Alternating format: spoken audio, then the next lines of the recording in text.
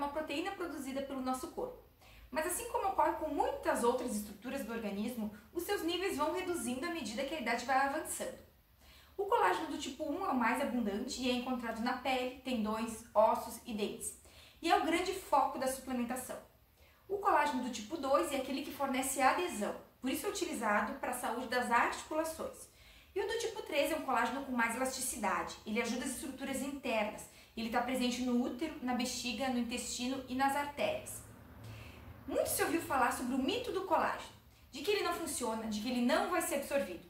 E faz bastante sentido se pensarmos em bioquímica e que o colágeno da suplementação ou da própria alimentação é uma proteína que vai ser quebrada em frações menores, que são os aminoácidos, e esses sim vão ser utilizados para a produção de novas proteínas segundo a demanda do organismo.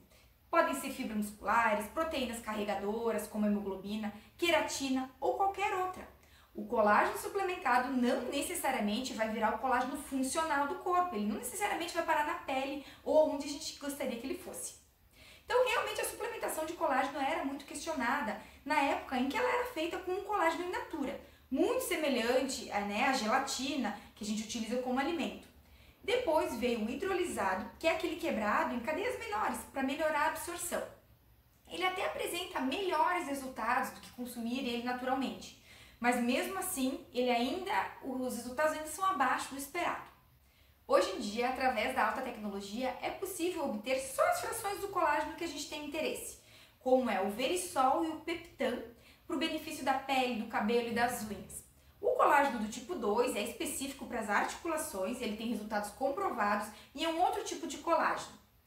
Depois disso, ainda temos os precursores de colágeno, mais uma alternativa para estimular a produção dessa proteína no corpo. Os precursores de colágeno surgiram principalmente para atender a necessidade do público vegano pela suplementação, já que o colágeno é uma proteína de origem animal.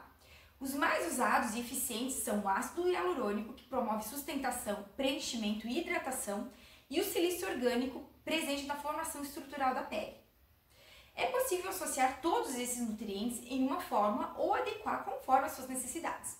Lembrando que os níveis de colágeno vão reduzindo com o passar do ano, dos anos, por isso que é interessante a suplementação.